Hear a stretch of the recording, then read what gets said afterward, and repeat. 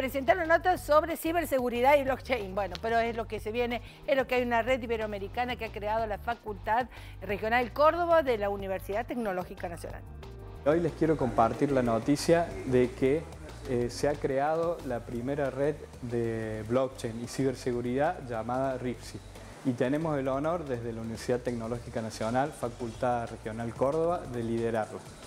Esta red nace a raíz de un financiamiento del programa CITET de la Comunidad Europea que nos va a brindar 15.000 euros por un periodo de cuatro años y eh, está conformada por 17 instituciones de ocho países iberoamericanos.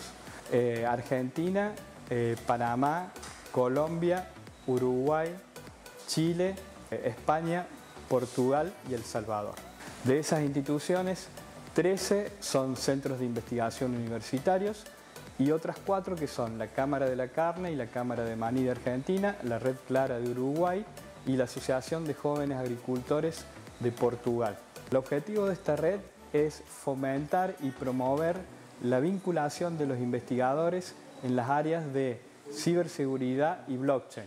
Blockchain es una tecnología emergente que te permite la trazabilidad y la inmutabilidad de la información en forma segura y eso lo podés aplicar en las criptomonedas, por ejemplo con Bitcoin, y también en la historia de los alimentos, por ejemplo, la historia de fabricación de un producto como puede ser la carne o el maní. Además de los miembros fundadores integrantes de esta red, contamos con un miembro aliado que es el Ministerio de Ciencia y Tecnología de la provincia de Córdoba, que fue el que articuló y que nos ayudó a postular. El 2 de junio eh, se va a realizar entre las instalaciones del Ministerio de Ciencia y Tecnología de la provincia y de nuestra querida facultad el acto lanzamiento de la red, donde también va a haber este, capacitaciones abiertas a todo el público y gratuitas. Por lo tanto, lo invitamos a participar y que conozcan nuestra red.